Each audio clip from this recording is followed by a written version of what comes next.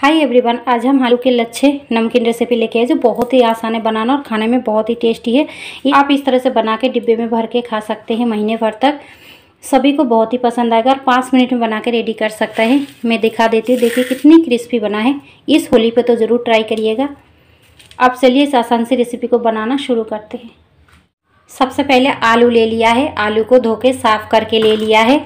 आलू से हम सिल्का हटा के ले लेंगे इस तरह से। आलू का छिलका हटा के दो तीन बार अच्छी तरह से धो लिया है। दूसरा बाउल ले लिया है। इसमें पानी डाल देंगे आधा नींबू ले लिया है। नींबू को हम निचोड़ के इस पानी में डाल देंगे। नींबू को पानी में डाल दिया है। अब आलू को हम इस तरह से डाल के रखेंगे पानी के अंदर। इस तरह से बनाने से एकदम सफ़ेद बनती हैं। अब इसको पाँच मिनट हम इसी तरह से पानी में कवर करके रख देंगे। पाँच मिनट हो गई है। अब ढक्कन को हटा लेंगे। इस तरह से रखने से आलू की जो गंदगी होती है, वो निकल जाती है या बिछा लिया है। अब आलू को हम इस तरह से पोछ के ले लेंगे। सभी आलू को हम पोछ लेंगे। आलू को पोछ के ले लिया है। देखिए, आलू काले नहीं पड़े हैं। अब हम गैस पे चलते हैं। आगे की प्रोसेस करते हैं। पहले से ही ऑयल को गर्म होने के लिए रख दिया है। ऑयल भी हमारी गर्म हो गई है। ऑयल को अच्छी तरह से गर्म करके ही लेना है। इस तरह से कटर ले लिया है। ये सभी के घर में अवेलेबल होता है। और एक आलू ले लिया है। इस तरह से हम आलू के लच्छे को निकाल लेंगे।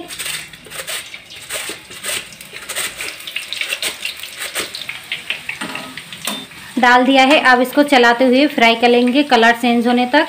गैस का फ्लेम हाई करके ही करना है। इस तरह से बड़ी आसानी से अब बना के खा सकते हैं, बहुत ही आसान है और बहुत टेस्टी भी बनता है।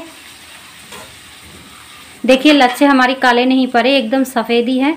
फ्राई हो गई है, अब हम निकाल लेंगे।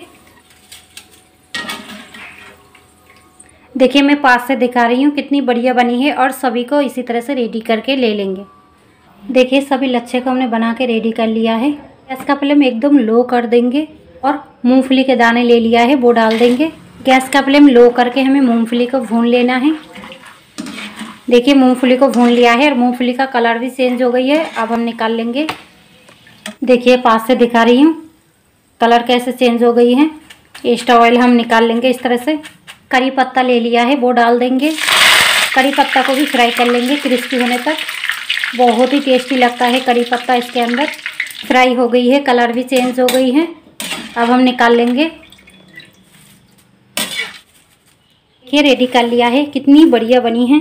अब इसे इसकी आवाज़ सुना रही देखिए कैसे आवाज़ आ रही है।